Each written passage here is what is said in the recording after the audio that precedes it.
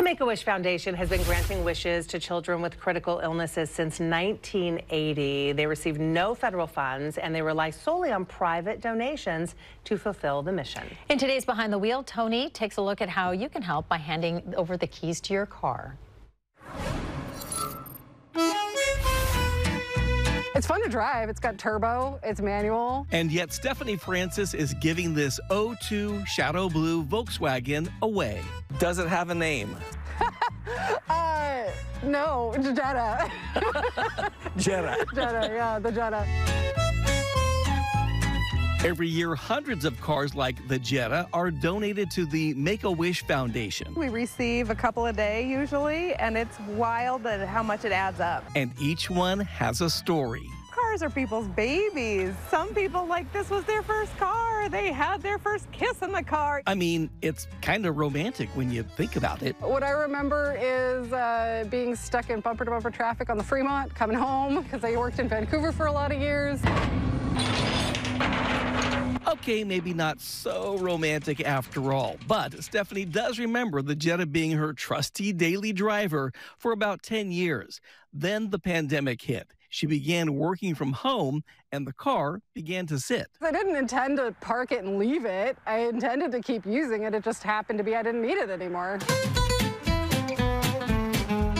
And she realized Make-A-Wish probably did. I was like, I am for kids and helping kids, and let's do that.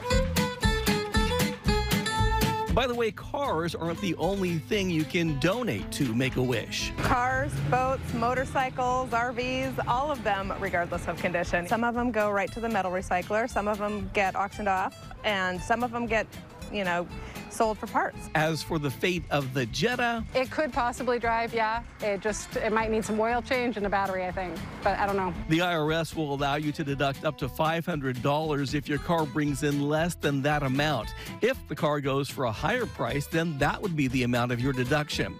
All you have to do is hand over the title. The net proceeds all go to Make-A-Wish. We go to a child ages two and a half to 18 with a life-threatening medical condition and say, if you could wish for anything in the world to make you happy, what would that be?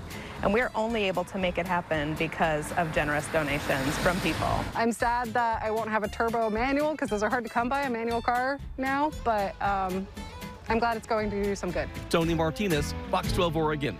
Bye, Jenna. What a great story. Well, it's so great that, yeah. you know, you know somebody could sell it, they could put some extra yeah. cash in yeah. their pocket, and to make a choice like this is really incredible. Selling a car like that would have been tough, you know, and it would have taken a lot of her time. So she thought, you know what, I get the deduction, which is, you know, kind of comparable, and it goes obviously to a great organization, wow. which you all love, Make-A-Wish. So there you go. Do it. Do it. It's a great, really great reminder. Yeah, yeah. Uh, we, we gave away a car one time. It was mm -hmm. a different organization, uh, but yeah, it was one of those things like, uh, good luck.